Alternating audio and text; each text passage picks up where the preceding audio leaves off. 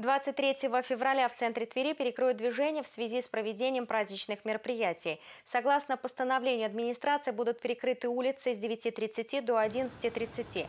Речь идет о Советской на участке от Смоленского переулка до улицы Андрея Дементьева, Салтыкова-Щедрина на участке от улицы Советской до Крылова.